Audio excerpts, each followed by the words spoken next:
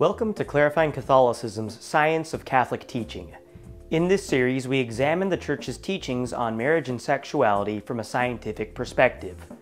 Most of the studies cited in this series were compiled in Father Robert Spitzer's The Moral Wisdom of the Catholic Church, a defense of her controversial moral teachings, and they can be found in the description. Without further ado, on to the show.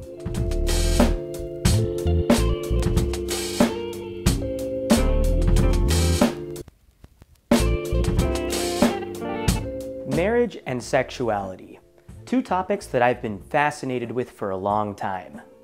Perhaps it's because my formative years were dominated by debate over what marriage and gender are or ought to be. I remember the day gay marriage was legalized both in my home state of Oregon and later across the whole United States. It was a rather stressful time to be a Christian, though it was exciting in its own right, as the discourse surrounding these topics caused me, as well as many others, to look at them from a more secular scientific perspective. And that's precisely what's so spectacular about Father Robert Spitzer's book, The Moral Wisdom of the Catholic Church, a defense of her controversial moral teachings. This book not only addresses the Church's teachings on marriage and sexuality from a scientific perspective, citing hundreds of studies that justify them, but it also touches on dozens of other moral issues from abortion to euthanasia. I highly recommend Father Spitzer's book, which I am using as the cornerstone for this series. But before I go any further, I'd like to state a couple of disclaimers. First, to any skeptics of the Church's teachings, I ask that you enter this series with an open mind. We will be analyzing and discussing some topics many have deemed sensitive, from the impacts contraception has on relationships to STDs in the LGBT community. Conversely, I ask Catholics watching this series to avoid weaponizing these studies to discriminate, even inadvertently, against people who are mentioned in them. It's easy to turn people into numbers, forgetting that each of these numbers has a unique context, whose situations are often difficult to judge. Basically, try not to be offended by this series, and likewise, try not to offend others with this information. Now that that's been clarified, let's dive in. There seems to be a pervasive idea that sexuality is an isolated instrument of human passion, that you can separate your sexual life from things like love, friendship, biology, etc. This, however, could not be further from the truth. As much as we would want to compartmentalize different things in our lives, such as sexuality, the truth is that it is impossible for humans to not allow sexuality to impact us psychologically, sociologically, biologically, etc. Even worse, sexuality, and more specifically, flaunting one's sexuality, has seemingly become a mark of maturity in the eyes of modern Western culture. It's all about body positivity. Be confident, be bold, they say. Ironically, though, this logic doesn't make us mature at all. If anything, it makes us childish, selfish, and isolated. It's regressive. Father Spitzer posits there are four levels of happiness materialistic pleasure, ego comparative, contributive empathetic, and transcendent faith-based. Each successive level draws us out of a self-centered hedonistic approach to happiness and into other-centered giving approaches to happiness. Let's look at level one, materialistic pleasure.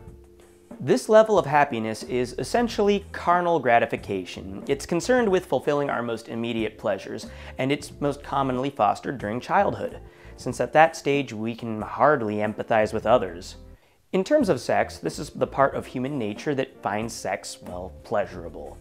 Now I must state, this stage isn't evil. It's the same stage that propels us to survive. It's the one that tells us, I'm hungry, I need food. Likewise, this is the stage of sexuality that tells us, ah, I find this person attractive. It's not bad, but being stuck at this level certainly can be, as we will explore later. Level 2 is ego comparative. This is the stage that develops once we've acquired a greater sense of social and self-awareness. We realize that others have sentience and needs, but it's centered on what the other person can offer you rather than what you can offer them. A corruption of this stage would be a utilitarian mindset, but this level in itself is not evil. Discovering that we need others to make us happy is not a bad thing but like the previous stage, getting stuck here can be very problematic. Before we go any further, I must emphasize that moving on to the next stage doesn't mean abandoning the previous one. A marriage in which neither person finds each other attractive will fail. Likewise, a marriage in which neither person feels like they need the other will also collapse.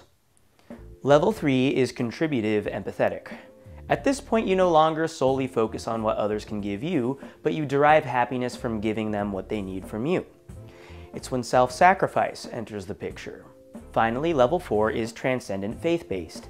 This is when you not only derive happiness from making the other person happy, but because of the selflessness you gained from being with the other person, you now feel compelled to sacrifice for the good of all people, if not a higher power. It's like at this point, you've trained yourself, thanks to your spouse, to not only give to him or her, but all of humanity and ultimately God. This is what is so crucial and special about the bond between a man and a woman, which is celebrated in marriage. It is the ultimate exercise in surrendering one's own desires from an another person so much that it brings forth new life.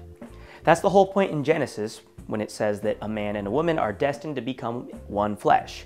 It's abandonment of the ego that turns us to live for others.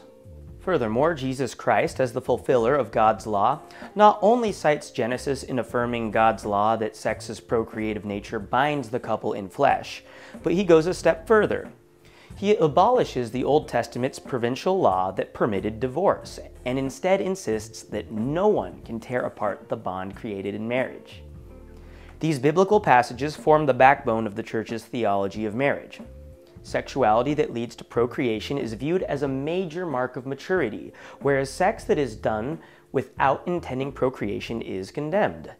This is because sexuality and procreation are intrinsically linked.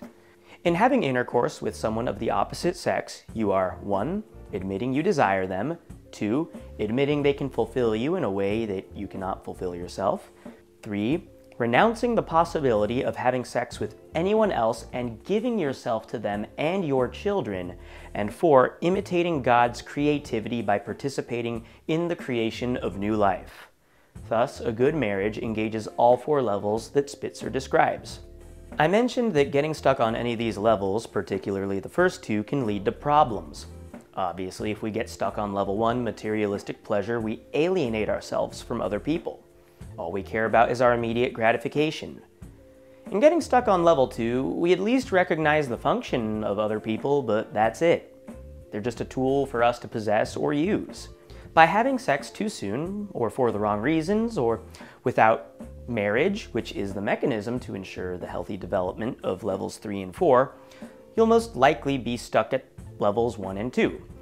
In Spitzer's words, having sex outside of marriage short circuits the development of friendship and relationship. It's like giving a two-year-old a jackhammer. This episode wasn't meant to be very statistics heavy, but I'll throw out a couple numbers that illustrate the benefits that levels 3 and 4 can have on a relationship, particularly a marriage. First of all, couples who pray together and thus participate in level 4 happiness feel greater relationship satisfaction. Second, spiritual intimacy correlates with more effective conflict resolution. Finally, belief in the sanctity of marriage correlates with increased marital satisfaction and compassionate love. Now, for centuries, the Church's view of marriage was ingrained into Western society, but the same can't be said today. Next episode, we'll explore precisely what led to the shift in modern Western society's understanding of marriage. Until then, have a great day. God bless you.